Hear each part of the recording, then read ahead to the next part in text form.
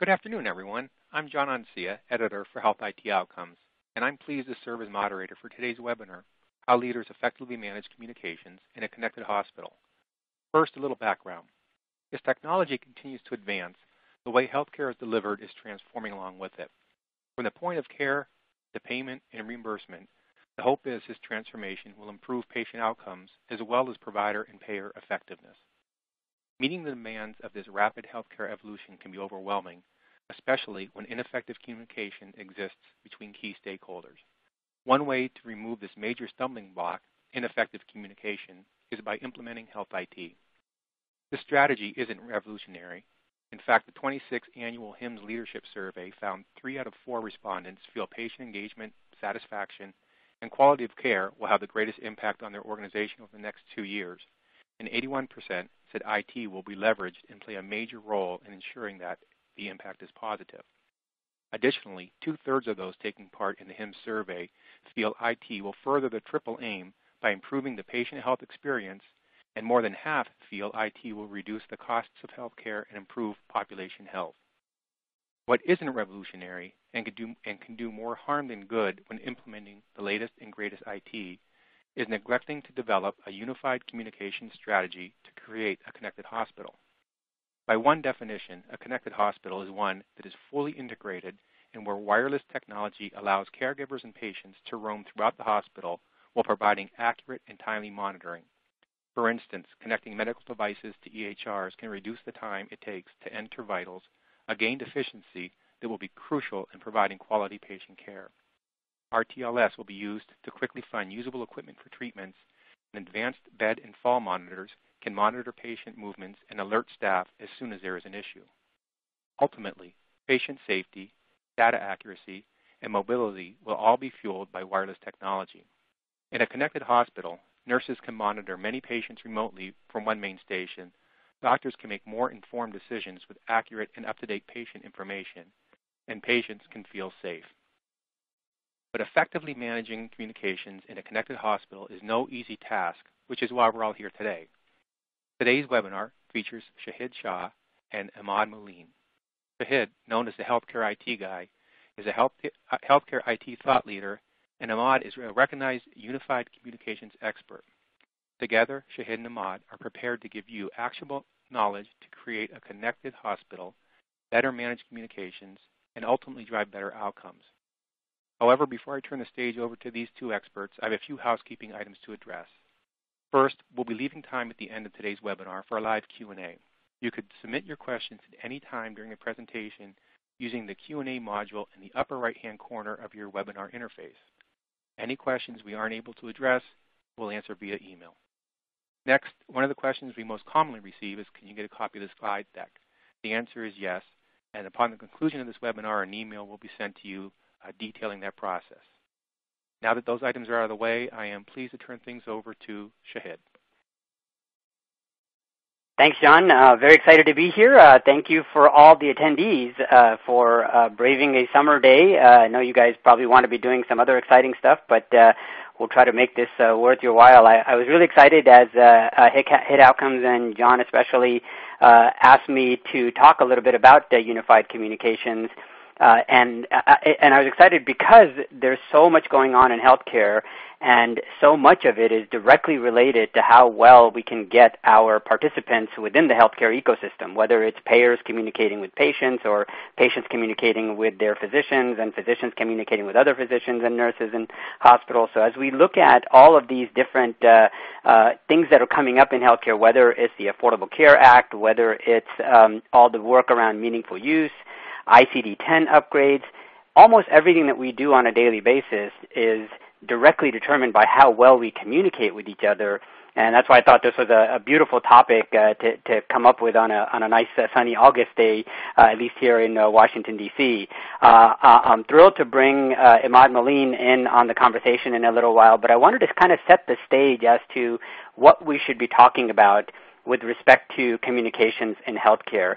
And um, Ahmad, who's a, a, an expert in unified communications uh, across a variety of sectors, is going to bring his knowledge base from the multiple clients that they already have at Everbridge, as well as the amount of work that they've done in other industries, to really tell us what uh, healthcare is doing well already today, or it could improve uh, using some of the uh, techniques and uh, approaches and guidance uh, that uh, Everbridge is giving its customers for quite a bit of time. So let's talk about the first piece here.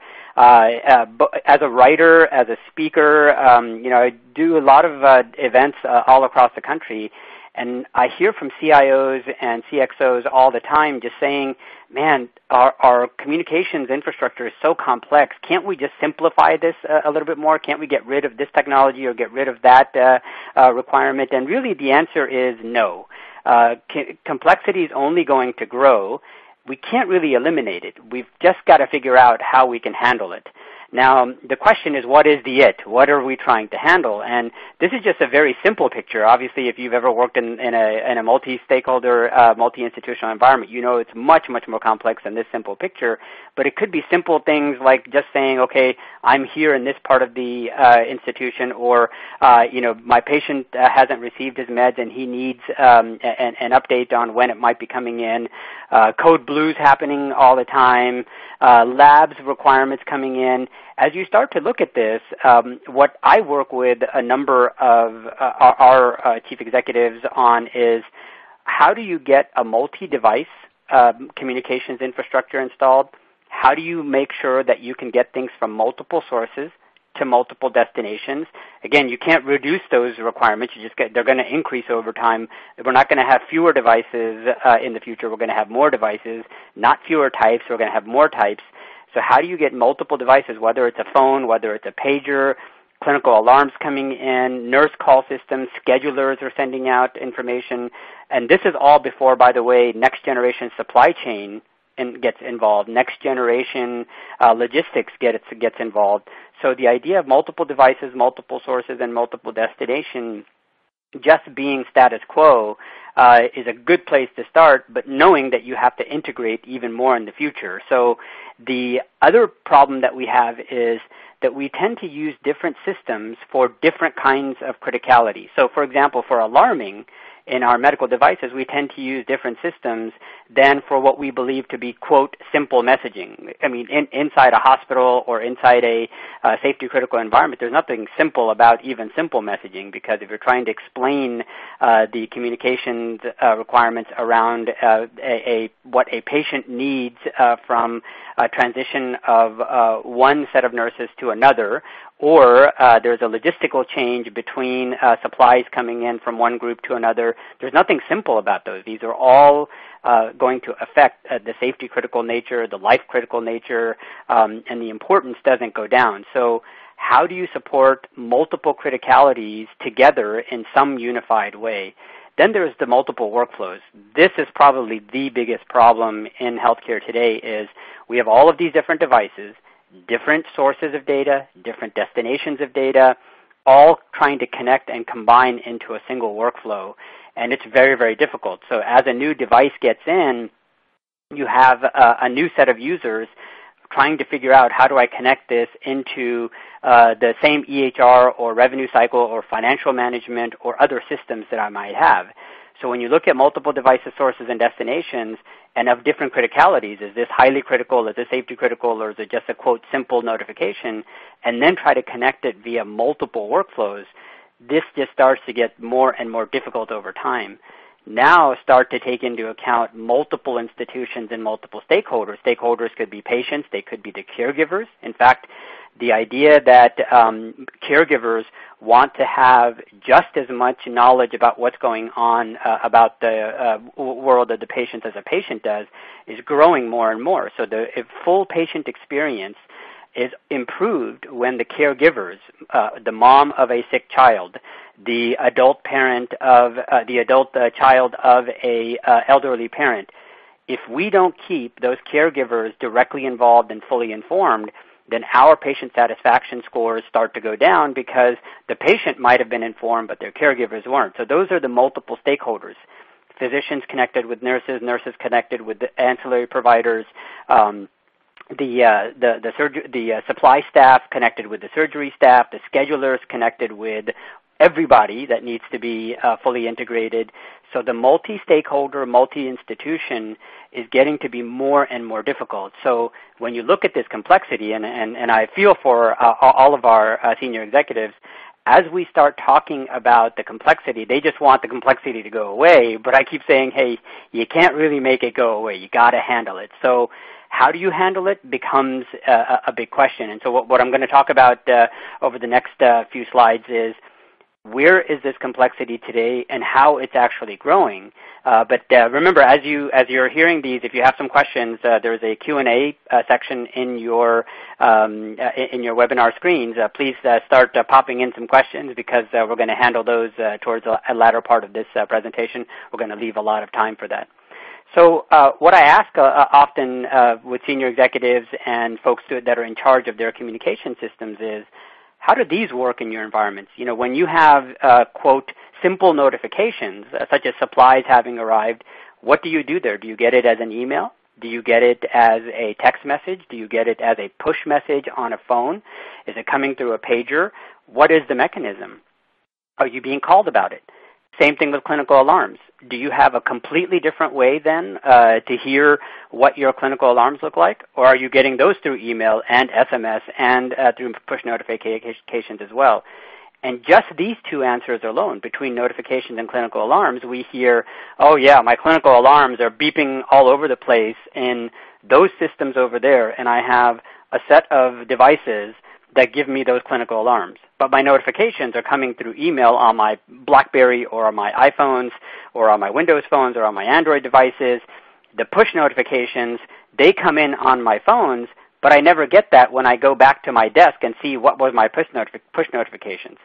So you start to see this problem uh, compounding is once you get to things like EHR outages, you know, how do you get notifications for when your IT systems are up and down, when a workstation has to be replaced, a mobile cart fell over, uh, et cetera. How are you getting um, a notification to say the network is down, now you need to switch to paper? Well, if everything is uh, all connected to one network and that network is down, what happens?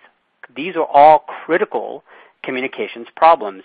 And now think about the audit logs how do you if you got if you've got five different devices uh, you know like a like a batman bat belt that you might have with five different devices all going off where are the audit logs for all of these? How do you know that things are properly escalated? How do you know that when you need to do legal discovery for a potential lawsuit that you knew what came in as a simple notification versus a clinical alarm versus an IT outage versus uh, some uh, clinical message that came in from EHR to uh, the uh, physician. As you start to look at all of these, you start to think, oh my goodness, it's a lot worse than we think it is because when things are working really well, the best case scenario is you have multiple devices giving multiple kinds of messages, etc. The messages may be receiving there, but you have no way of unifying them, looking at them in a central way, so that when you go to your desktop, you can see what you got on your phone. When you're looking on your phone, you saw what you got on your desktop or on the mobile card. When you're away from the office, especially roaming physicians, etc., how are they supposed to see these things? When, if you communicated something to a patient or the caregiver and they responded, where is that recorded for discovery or other uh, legal and compliance purposes? As you start to look at all these problems, it just gets even worse because the complexity just looks like it's never ending and it's uh, and it's never going to get any better. Then you have uh, all of the things that are, are, coming about, which we don't even have in our environments today. So this is a very good article. If you haven't seen it, uh, uh, Michael Porter and Thomas Lee wrote uh, this article in Harvard Business Review back in October 2013 about the strategy that will fix healthcare. And the, the basic uh, premise here is exactly right, and that is uh, the medical establishment today, and has been for decades, has been in a fee-for-service uh, when you, uh, from a volume-driven perspective. You know, when you do services for patients, you get paid for it. However the outcomes turn out, whatever the value might be, just didn't matter. But as we all know, we're all moving towards as as much of a value-driven, pay-for-performance model as possible. And so, in this article, there's a discussion about organizing into integrated practice units, measuring outcomes and costs for every patient, well, think about the communications necessary to just pull off numbers one and two. As you move to bundled payments for care cycles, and you tie in numbers one and two, now how do you communicate all of the bundles as one? How do you how do you keep all of the connections necessary? How do you combine all of the communications that you've done for numbers one, two, and three? Then it gets even harder. How do you integrate care and delivery across your separate facilities? In general, if you're a health system and you control your entire top to down, top to bottom vertical uh, installations in your facilities, things might be okay. But now, if you're trying to do bundle payments with uh, outcome measures and risk bearing for patients across facilities, and not all the facilities belong to you, what do you do? Now, you, uh, with number step step number five, expanding excellent uh, services across geography, it just gets harder and harder. And when you look at this, we all can see this is the future. This is not uh, something we're saying, oh, this might come 20 or 30 years from now there are institutions that are being able to pull this off today from a business perspective, and they're counting on it. This is the most important thing for us as part of number six below is what happens to communications in this new world order? What is our enabling information technology platform that's going to allow numbers one, two, three, four, and five to occur? There's nothing simple about this, and it's only getting harder. The complexity is going to go up. So what do we end up uh, doing? And so basically all of that is this shift from volume to value. So just like you saw in this picture here, you have uh, dollar signs flowing from each institution and, and each care provider independently. What we want to move to is have one bundled, a lot, uh, maybe it's a bigger dollar amount, but it's flowing in between a group, a, a nice narrow network that we understand is working together for a common cause. That common cause, of course, is the patient. But how does our does our, communi- uh, our communications infrastructure, our critical communications infrastructure, accommodate this shift?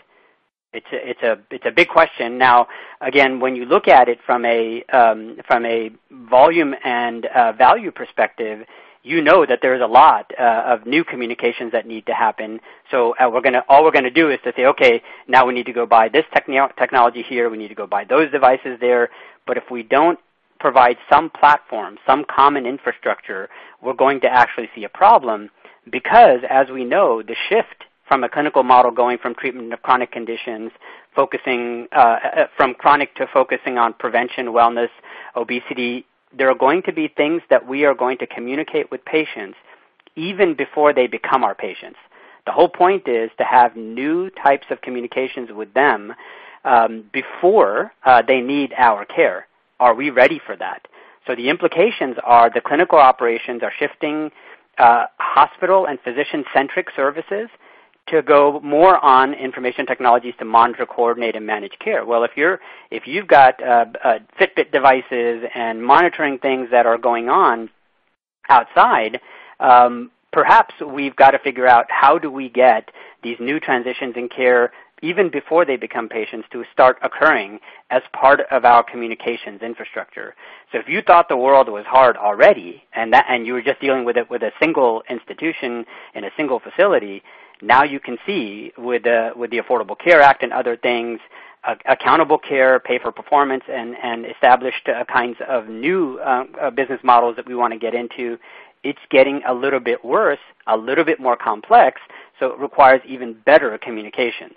Now, um, the question broadly becomes how can our communications infrastructure assist with successful transitions of care, reducing hospital readmissions, innovating uh, with new practice models like patient centered medical homes, helping with prevention, wellness, and obesity intervention, doing behavior adjustments, helping with physician and provider marketing? How, how do we use these new technologies to say we're better at care because we keep you informed. We're better at care because uh, all of the care providers know what's going on. So it helps to personalize medicine. It helps to do total population management. And all of these things become very, very difficult. So question is now, how do our communications map to specific patient populations? If we're now managing patients even before they become patients, it means that we're doing prevention and trying to manage people in a well patient environment, in an at risk environment, in a chronic care environment, and then acute treatment. So the last one is the one we're actually very uh, pretty good at, the acute treatment side, where it's about 4% of the population, about 36% of our cost. We think we're pretty good with that. You know, we've got our basic infrastructures in place, our devices, et cetera. But think about the chronic care. If the patients are outside, the caregivers are outside, how are you maintaining and managing communications with them? The at-risk side, they're not quite patients yet, but they might need some imaging and other things uh, done to help them understand. They might need a little genetic test here, a little bit of outreach there. What are we going to do? The, and then the well patient becomes even harder because they're not fully engaged with us in any way. How do we make them uh, make sure that they can do healthy promotions, healthy lifestyle choices, uh, get health risk assessments? These are all great communications problems to think about. Um, the good news is that there are some solutions. The bad news is we have to rethink about a, a lot about uh, how we would accommodate this broad, more broadly speaking.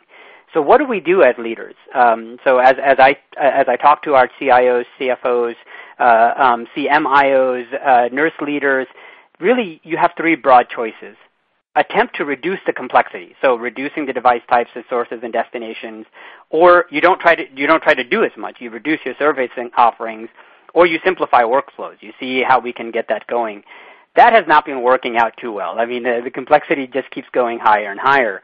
Um, so the other option that a lot of uh, leaders are looking at is a best of, breed, best of breed communications model, where you still try to reduce the types, but then you try to maintain your service offerings and you choose multiple vendors based on criticality. One vendor for alarms, another vendor for notifications, some for push, some for SMS, a little bit of HIPAA work there, etc. But even that's becoming a struggle as the complexity grows and so I'm normally recommending these days that people look at unified communications. And this is not a surprise. Uh, uh most major enterprises, uh, both inside and outside of healthcare, are looking at UC or unified communications because they are embracing complexity. And that's the key here. Don't give up. Embrace the complexity increase your service offerings because that's what your um, patients want you to do. It's what the uh, your boards want you to do. It's what the CEO wants to do. So increasing of service offerings means you have to support all the different workflows.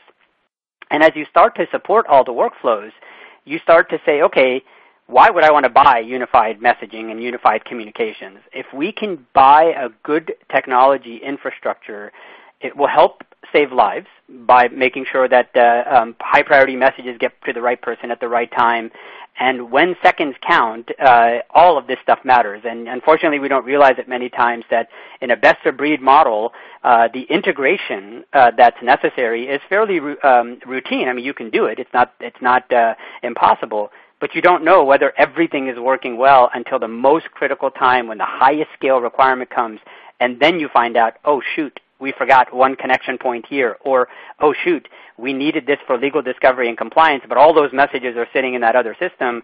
I don't have a way of being able to do a combined audit log. So in order to save time and money, you know, you reduce unnecessary messages, making sure you do uh, um, removal of inefficient communication modes as, as pagers over time. Instead of just saying we've got to do this all at once, you do it over time. And then trying to make sure that you integrate this into your clinical workflows be- becomes just an absolute necessity. How do you make sure all of this gets connected up? So buying it is actually a pretty uh, a reasonable, there's a good amount of evidence that uh, unified communications and unified messaging is a good thing. On the user side, right, on the buyer side, uh, senior executives can make these decisions pretty easily.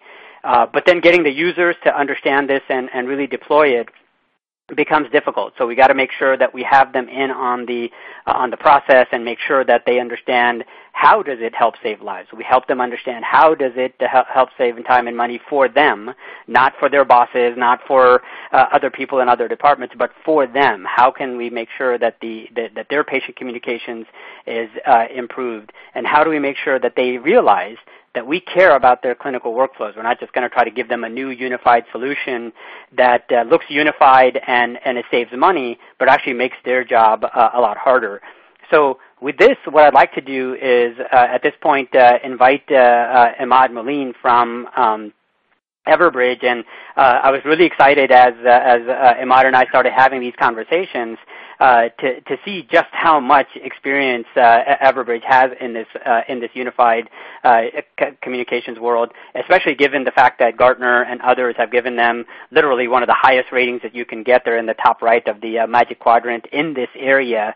And what was more important to me was not so much that they had the experience in, in unified critical communications, but they had it across multiple uh, environments. Uh, so with that, uh, you know, Imad, uh, welcome. I just would love to have you just do a quick introduction about you and uh, and Everbridge, and then if you can talk to us a little bit about what Everbridge has been doing in other industries and how it's brought uh, some of that knowledge into healthcare. And then, of course, you're doing a lot of work in healthcare and how you might be taking that into other industries uh, because that seems like a fairly unique uh, uh model where you guys are doing a lot in both inside and outside of healthcare.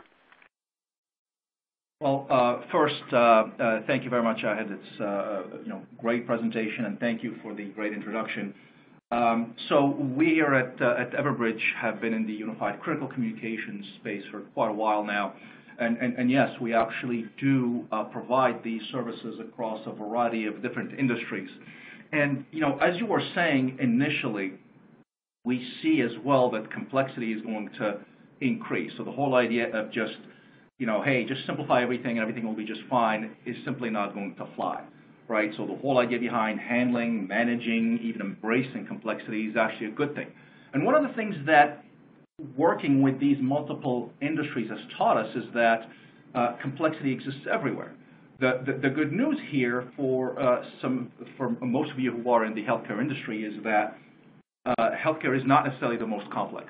So when we work across these different industries, what we've worked with, for example, with the industries that may be more regulated. So when we deal with nuclear energy, for example, uh, there are more regulations surrounding potentially uh, any type of incidents and the communication surrounding it than the logging requirements, et cetera, simply because of the potential impact of any type of human or system error. Uh, in, in, in, financial services, uh, something fairly similar. If you think that the most important thing when you're dealing with communication is to have everybody know as much as possible about a particular situation. Well, in some cases, like in financial services, part of the challenge is the exact opposite. You need to have these segregated um, silos where information cannot necessarily be shared and where organization get a lot more complex and in some cases more political.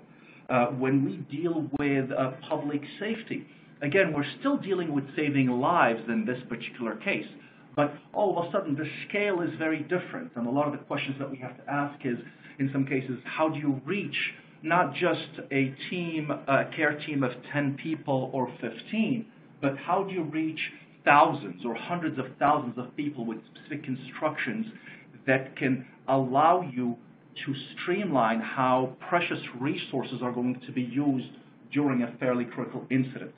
So all of these different facets allow us to, in many cases, pick the appropriate best practices that can be reused uh, ultimately in, in healthcare in, in others. So again, the good news is healthcare is not the most complex or the most heavy as far as requirements for uh, either scale or instant communications or uh, workflows that might be spanning a variety of different functions. But um, it's up there, though. Yeah, great. Uh, and I love that. Uh, so give us a few words on what do you think that word critical, uh, so you, you know, we're talking about uh, critical communications here as opposed to just unified communications. And just for the audience, uh, you know, unified communications often means making sure that your voice over IP and your um, uh, pager systems, et cetera, are all using a common system. But they may or, they may be for inter-office use. It may be for non-critical use. So you got to be careful that uh, when we talk about healthcare or anywhere where you're talking about patient safety, uh, safety critical kinds of uh, life critical kinds of things, that we do use unified critical communications. So do you have just a, a couple of words on, um, you know, what, what does uh, critical communications mean to uh, you with your uh, ex- expertise in, in unified communications in general? Well, in, uh, critical in this particular case means that lives are at stake, and certainly in the healthcare space, right? So typically it's a mission critical process in many cases, but ultimately, if the communication doesn't get through, that there is going to be a significant risk to lives and livelihoods.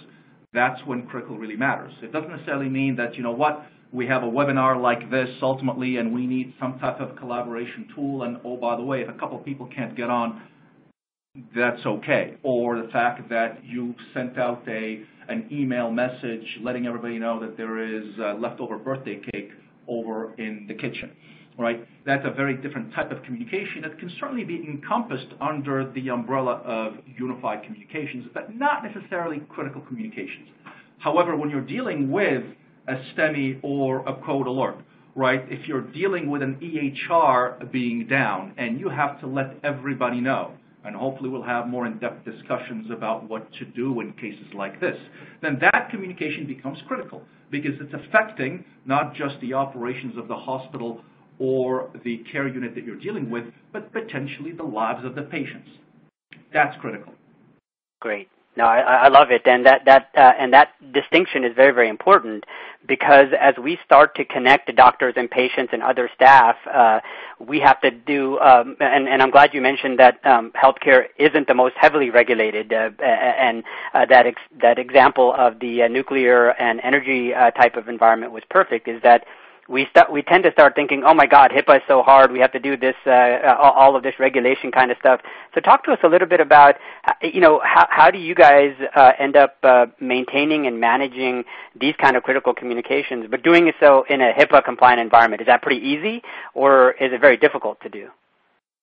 um, I, I, wouldn't call it easy. No, not, not at all. Right.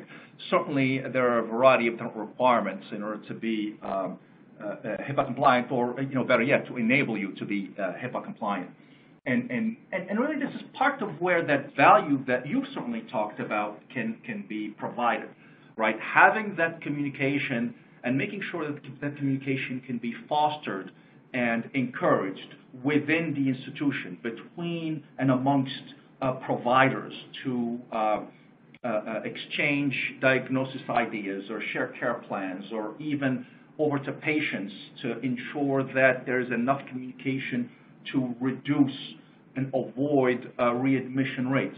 That needs to be done. And in order to facilitate that type of exchange and not be in violation of HIPAA or HITECH, then of course you need to be very careful about how you communicate any type of information that might contain PHI. Of course, you know, most of us um, would probably have the instinct to, oh, I want to share a small piece of information with somebody. What am I going to do? I'll pick up my iPhone or my Android device and I'm going to text. It's as simple as that. But of course, if you do that, you have to be extremely careful about what information you would be able to share. Because if you share anything that might be misconstrued as PHI, then you're in violation. Not a good thing. Not only that, but of course that information may not necessarily be retained as part of an overall medical record, which is again not necessarily a good thing, depending on what you want to do. So as a matter of fact, we've run a couple of surveys and, and, and some of the data that's come back has been pretty interesting. Uh, about 73% of healthcare professionals that we surveyed said that, for example, communication via just email and pagers limit their productivity. Uh, it impacts their patient care right? And if they were able to have this type of unified critical communication while knowing that all that communication would be and could remain HIPAA compliant, that it could uh, increase their productivity and the quality of the care that they provide tremendously. And again, this is where that value ultimately that you talk about really can, can come in. Um, let's ensure that we can give HIPAA compliant um, uh, uh, means to these care providers and their patients so they can provide uh, a better, more timely care with anything from simple messaging via text to things that might be slightly more advanced, such as uh, care via telemedicine, for example. Right. No, that's great, and I'm glad to hear that. Uh, you know, um, uh, everybody realizes it's not easy, but at least it's uh, possible. So one of the things that uh, we've discussed uh, uh, across the industry is doing a little bit more work with remote uh, care, so connecting with patients, et cetera, remote, remotely. So what, how do you guys handle things like this? I mean, this is one uh, interesting use case that we came up with, which is EMS and ER teams needing to communicate with a patient before the patient arrives the patient hasn't yet been registered yet. Uh, you know, all of the stuff that uh, need is needed may not already be there, but we need to communicate uh, between two care teams, one that is literally moving at 65 miles an hour with the other one that's uh, stationary, helping prepare for that. What what kind of things that uh, uh, that you guys have seen uh, in other industries could help with this kind of use case? Well, actually, this is one of those areas where uh, other industries may be able to help or to learn, certainly from healthcare in general. So, especially the coordination between EMS teams and ER teams. So, everything from ensuring that uh, STEMI and code alert information is actually sent uh, and sent appropriately. So, all the information is included. You don't have to think about it. You press a button there you, there's one or two fields that you need to actually fill out, and all the appropriate information is actually sent out and is ready uh, uh, for the appropriate uh, team as the patient is coming in to uh, ensuring that if need be, if there is going to be a, certain amount of time that can be uh, taken advantage of in the ambulance, that the appropriate uh, level of telemedicine is available on a um, on a, cost-effective and efficient basis to actually start the care and certain aspects of the care long before the patient even arrives at the ER. So in, many cases, there are some best practices in the healthcare industry that are ahead of where some of the other industries are and that others can actually leverage quite a bit. But again, the idea behind minimizing errors is something that needs to be focused on. Uh, how can you minimize the amount of interaction that the people who are going at 65 miles an hour, literally, right, are going to have to input or enter into a system to ensure that everything that needs to be done for that patient in transit and after the fact has been taken care of. So knowing ahead of time the types of workflows that need to be automated, the minimal amount of information that needs to be entered into a system so that you can be doing something else with that patient across the board is critical. Minimizing those errors basically means that you may have template-driven ways of doing communications that require very little interaction and then can track the appropriate status of the patient, of the overall incidents around the patient throughout um, that patient's care. Interesting. Yeah.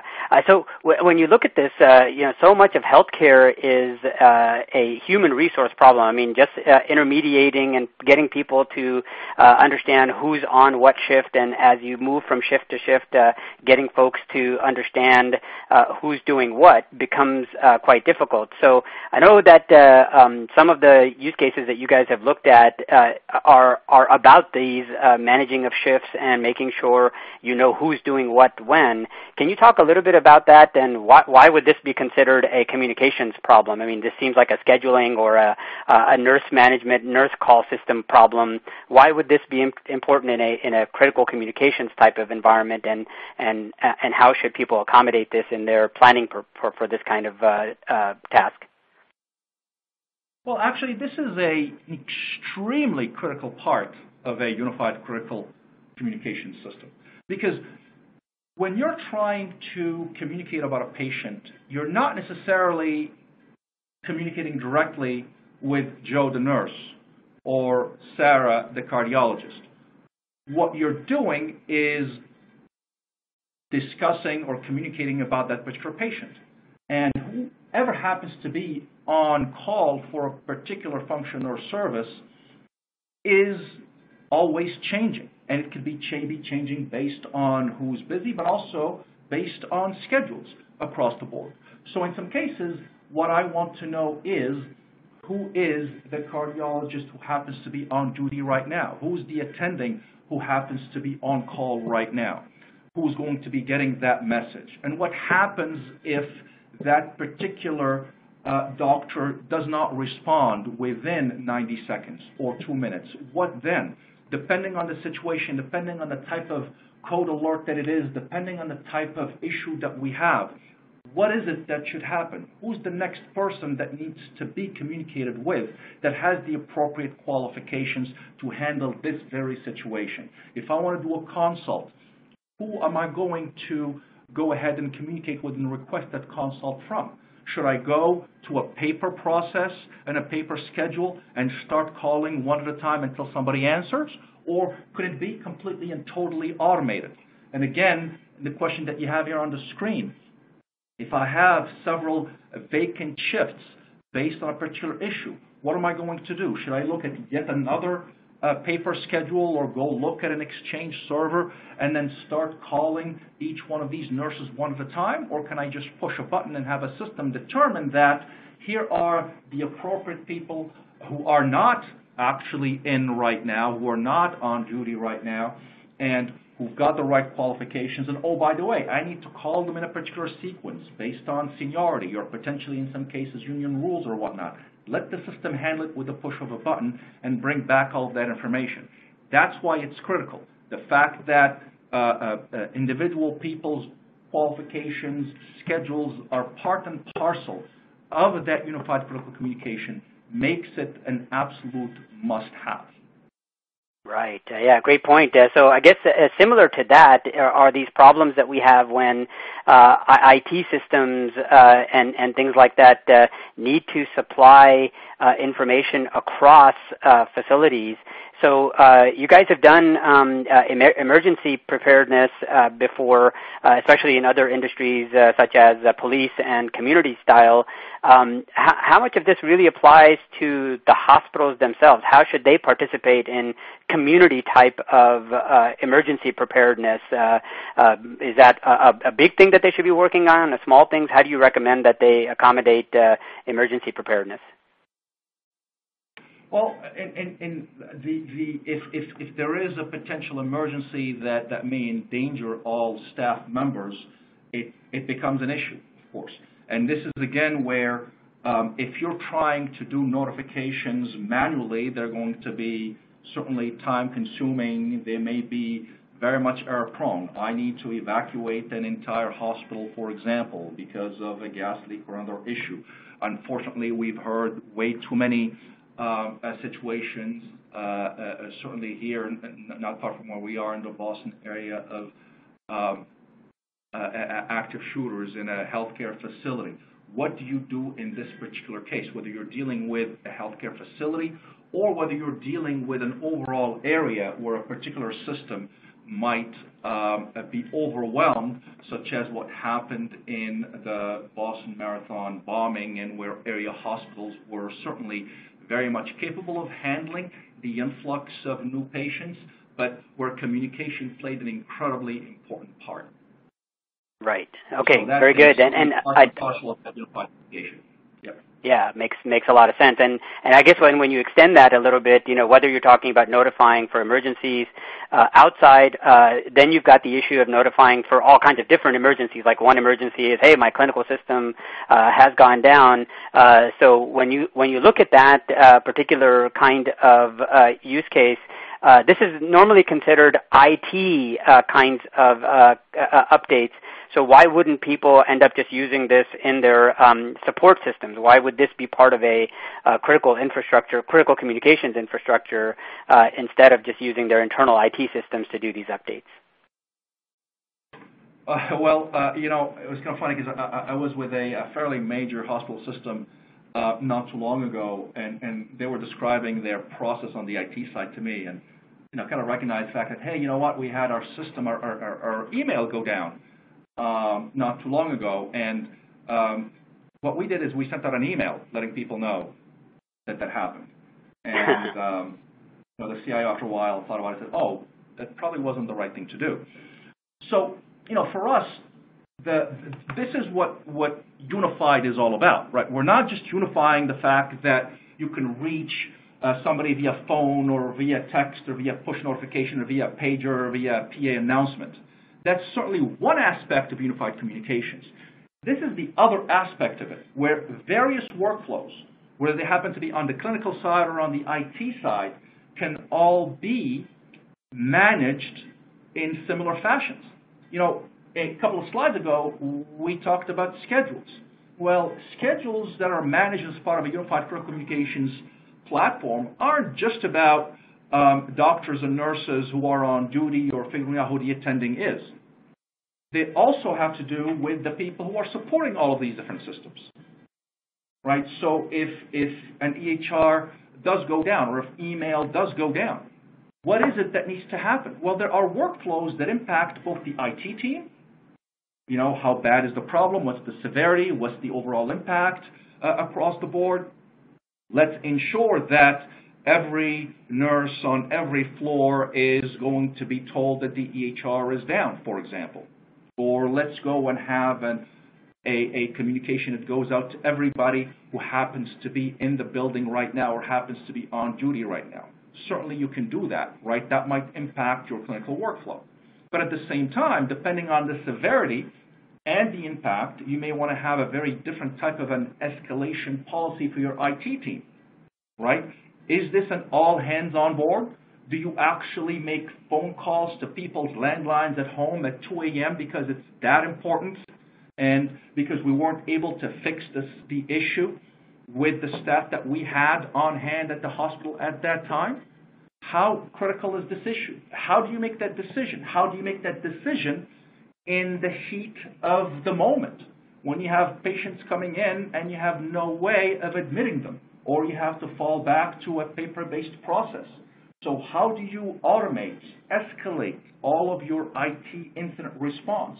And again, what is the impact on all of your clinical workflows in this case? Who needs to know? Because again, the ultimately, as you said it before, it's all about the patient. It's all about the quality of care that we're going to be delivering. And this is part of how we deliver that care, even for in the minds of some people, no, no, no, no, we're dealing with an IT system in this case. Right. Yeah, and I think you see the same problem, uh, for example, when uh, you start looking at uh, clinical alarms. So, you know, people say, okay, well, this is should be in my help desk system, and then clinical alarms are in my device system, and my uh, patient communications, my HIPAA stuff is in some text messaging system.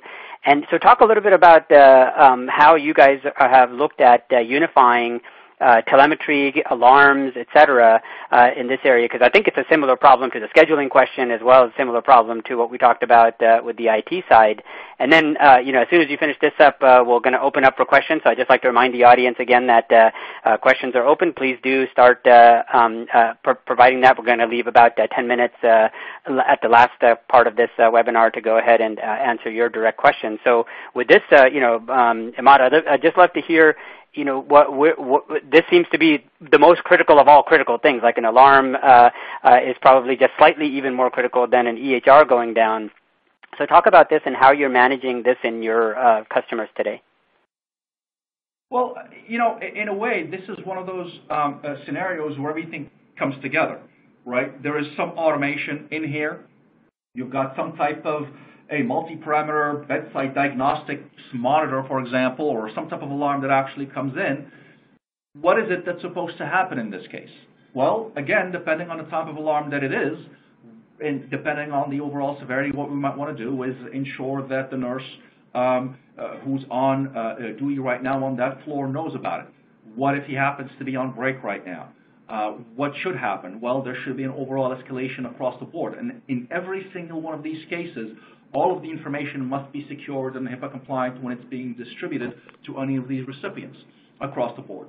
Depending on the type of alarm that it is, again, the appropriate members of the care team would need to be notified. In some cases, some of the care team members um, can be very numerous, but some of them might be on call and some of them may not be. So you start with the ones who are on call. And again, depending on the severity of the issue, you might give them a certain amount of time, but then move on to the next ones. Ultimately, you need people to be able to respond as quickly and effectively as possible. And, and, you know, the picture might be a little bit misleading here because it's not just about the bedside monitors anymore.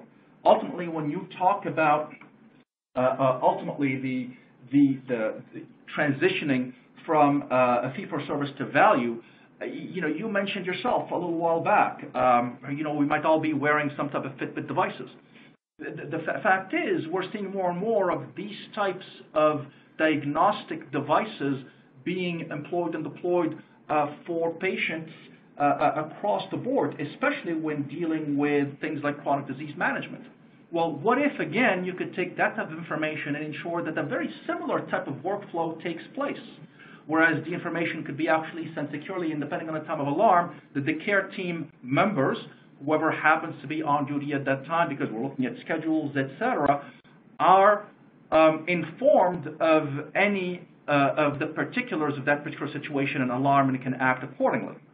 So whether, again, it's a bedside monitor or whether it's a, a chronic patient who's walking about and wearing some type of diagnostics monitor where it's now or in the future, that type of workflow, that type of automation is going to be absolutely critical in helping improve both patient care and safety and ultimately delivering the right kind of value in the long term for patients and uh, healthcare providers alike. Yeah, that's great. And and as we as we've seen over the last uh, probably eight or ten questions that I've asked you, uh, you know, it, it, seems like there is, it is possible uh, to reduce complexity in one way, and that is instead of a half dozen systems, maybe a best of breed, et cetera, that it is possible to have a, a single platform. So if you can just talk, uh, you know, maybe 30 seconds or so about this unified critical communication system that you guys offer from the Everbridge uh, perspective and how that might uh, um, be applicable to a, a, a, lot of our audience here. We'll then open it right up uh, for questions. Uh, John, you'll take over right after that uh, and uh, maybe give us some of the initial questions. Yeah, you know, happy to talk about it. Again, unified critical communications platform where all of the different things that you may need as part of a either a, a clinical or operational workflow are part of it. So whether you need to do communications to all of your uh, staff and employees and clinicians uh, within just a, few seconds and make sure that you can hit them appropriately on their uh, pagers and, and, and, SMS and make phone calls, etc. Whether it's IT alerting systems that go down at the same time, you have to, again, notify the people on the clinical side as well as the IT team to come and deal with it. Whether you're dealing with code alerts where you want to reduce errors, so again, if it's a code blue, or a code black, it doesn't really matter. You have two or three different fields that you need to uh, punch or pull down on a particular user interface, and it takes care of the rest. It'll look at schedules, it'll look at who's um, there, it'll look at all the information from a patient-centric perspective. And of course, the scheduling that's part of it, as well as the HIPAA compliance, because anytime you're limited by not being able to share PHR for fear of non-compliance, you're probably going to impact the patient care negatively. So all of that can be had in a single software as a service platform where all of these things ultimately revolve around that common cause, the patient. Great. Uh, so, John, um, uh, any questions have come in uh, that uh, we want to start handling now? Yeah, uh, we've got uh, several that have come in. Um, we wrapped up there talking about the patient. I think this next one might be along that same vein, and I'm going to go out to to Imad. But the question was, how does a connected hospital prevent readmissions? So the, the, um, you know, the answer can be either simple or complex. Uh, let me give you the, the, uh, simple uh, version of it, right?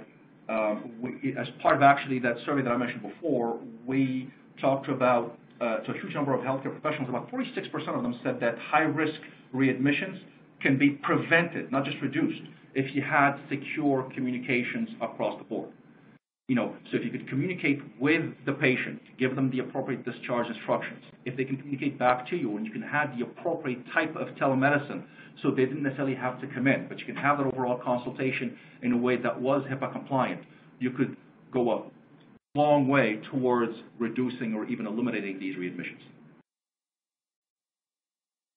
Great, that makes a lot of sense.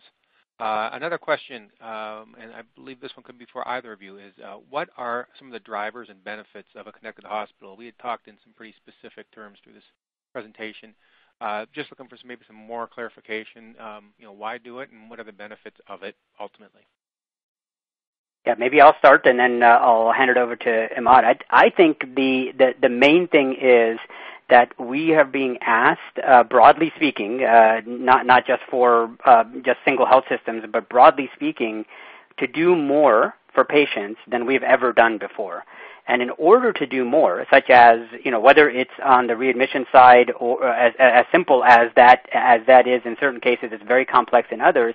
We're being asked to do prevention. We're being asked to do uh, wellness management. We're being asked to do chronic care as you start to look at all of these extensions of services, it's just not possible unless we do a better job of coordinating communications. And whether that's a you know a single solution like a unified uh, communication system or a unified critical communication systems uh, specifically, we know we have to do much better coordination of communication. So from a planning perspective, we as leaders need to figure out and say, if my boss has asked me to do more, if my board is asking us to do more, if our community is asking us to do more, can we do that if we don't have a good, solid way of making sure that we can coordinate staff to act on behalf of patients in some meaningful ways.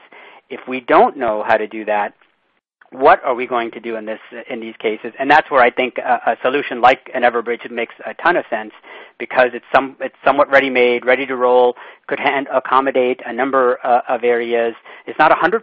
It's not going to be perfect for everybody uh, in all solutions, um, but it, it, does mean that we can do more, just like our bosses are asking us to do. So, uh, any any uh, additions or elaboration on that, uh, Imad?